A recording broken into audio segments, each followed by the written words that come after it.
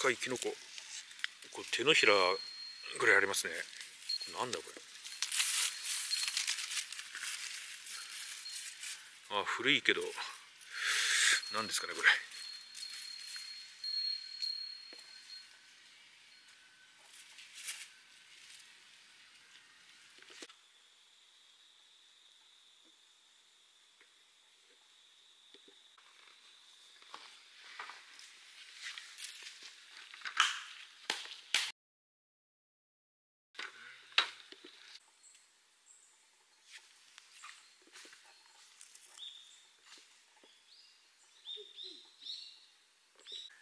あこれなんだっけな。灰色。名前が出てこない。でも去年これ食べたらですね独特なあの香りがあって、まあ、ちょっと癖があるんですけどね。あのまあ美味しかったですね。去年はもっとたくさん出てたんだけど今年はそんなに出てないですね。この3つぐらいかな。これから出てくるのか。紅天狗岳これ猛毒キノコじゃなかったとしたらまあ猛毒キノコだとしても綺麗なキノコですよね、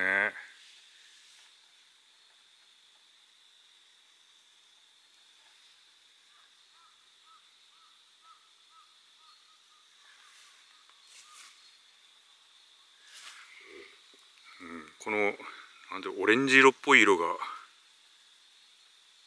この紅葉の落ちてる森によく合いますね。綺麗なキノコです。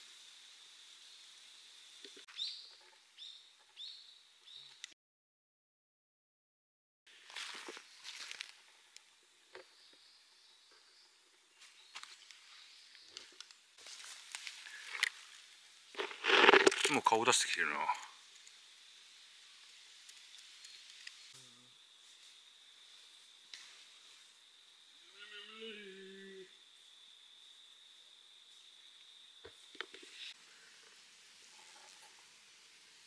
お白いしめじの群生ですね。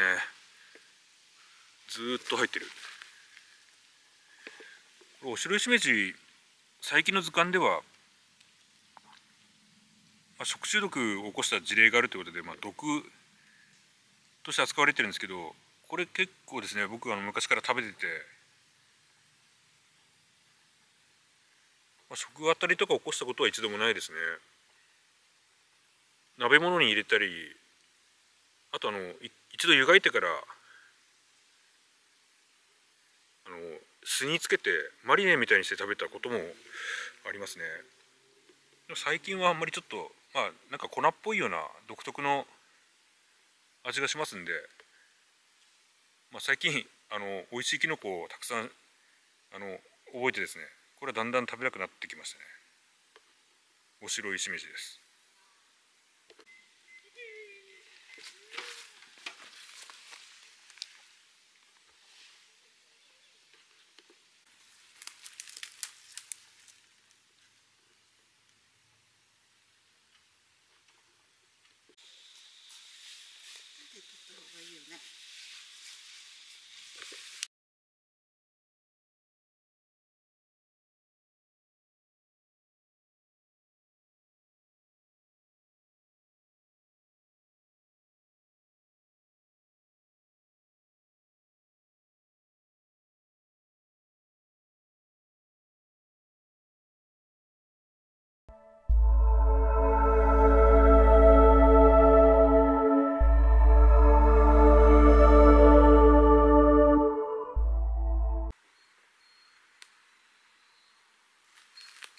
唐松林にやってきました。と今シーズンはですねあの花井口があんまり取れてなくてちょっと例年ほど本当にあの取れてないんですよ。で今日はちょっとお休みが取れたので出てるかなと思って来てみたんですけどちょっと山は乾燥気味ですね。まこれからまもなく雨が降ってくるみたいなんですけどもちょっと一雨来ないとダメかな、まあ、とりあえず何かあるかもしれないのでちょっと歩いてみます。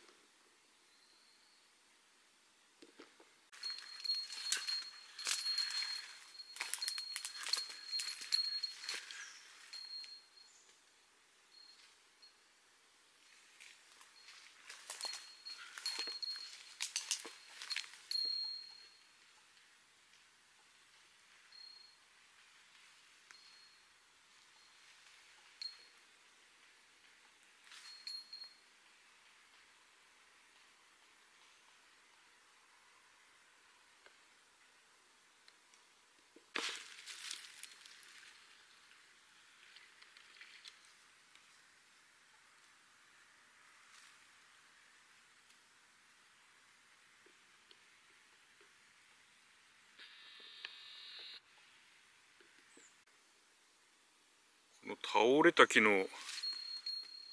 根っこに何やらいっぱい生えてますね。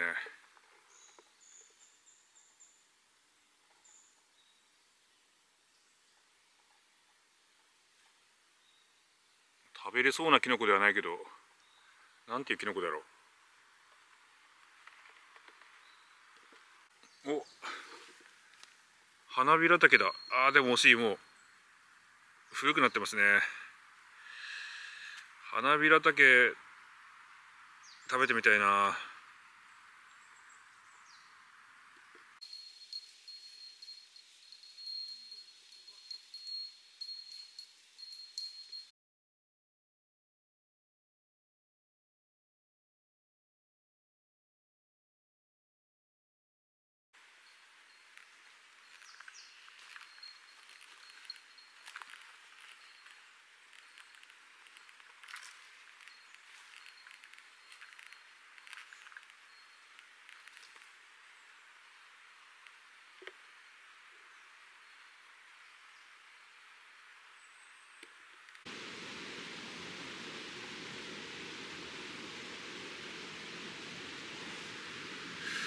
れはエゾマツの根っこに生えてるキノコですね。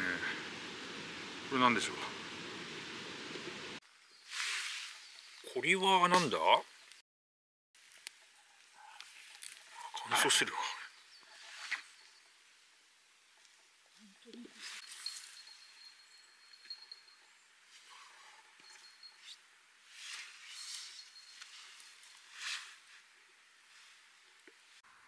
狐の茶袋かな。このもう表面がツルツルになってるのはもう老気になってきてるやつなんで、まあ、食べれないんですけども。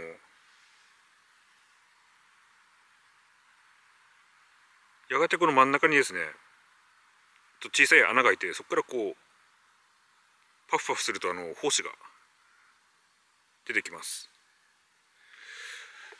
こっちにもあるな。これもちょっとまあ老菌ですね。あの表面になんかヨイボというかザラザラしたのがついてるとまだ硬くて食べられるんですけどこれはもうダメだな。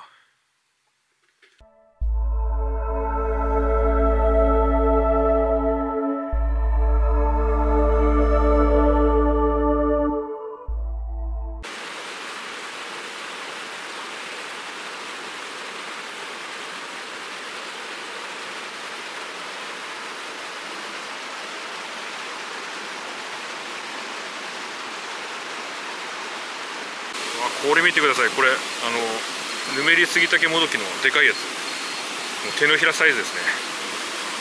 これはさすがにもう虫食ってますね。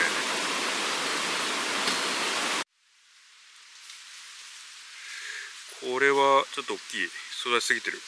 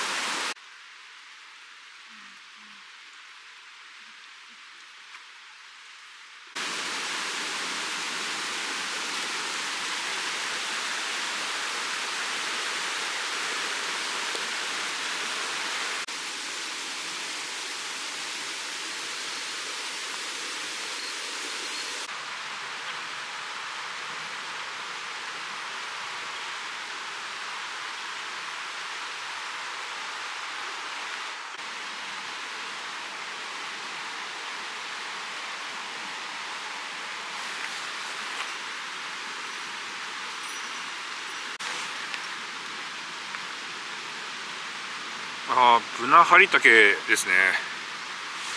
これあの独特の花の香りのようななんか香水の香りのようななんかいい香りがしますね。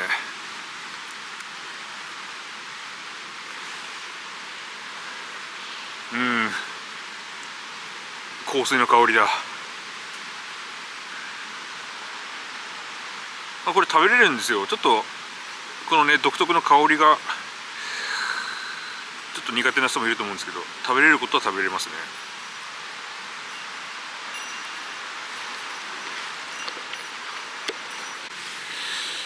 でこの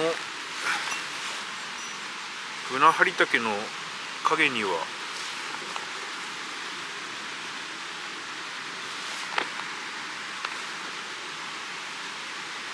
これムキタケですね。古いなでもねこれ。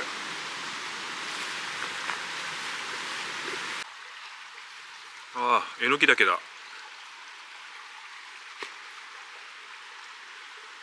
結構なってますねこれ。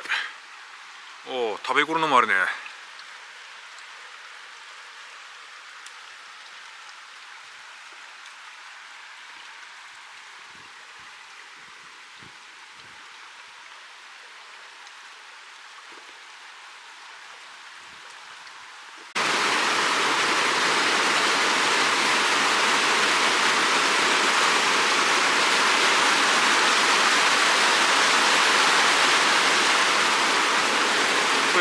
けですね。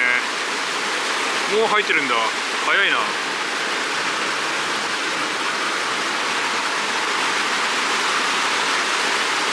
これえのきたけの特徴はこの茎が黒いのがえのきたけですね。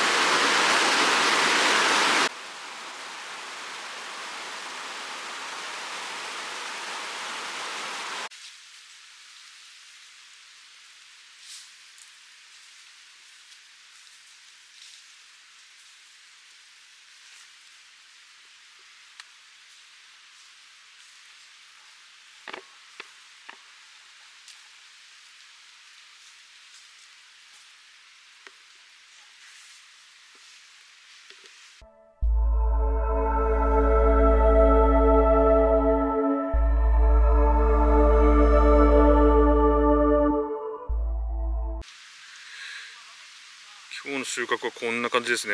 本しめじ花井口とぬめりすぎ竹もどきだけでしたね。あんまり取れませんでした。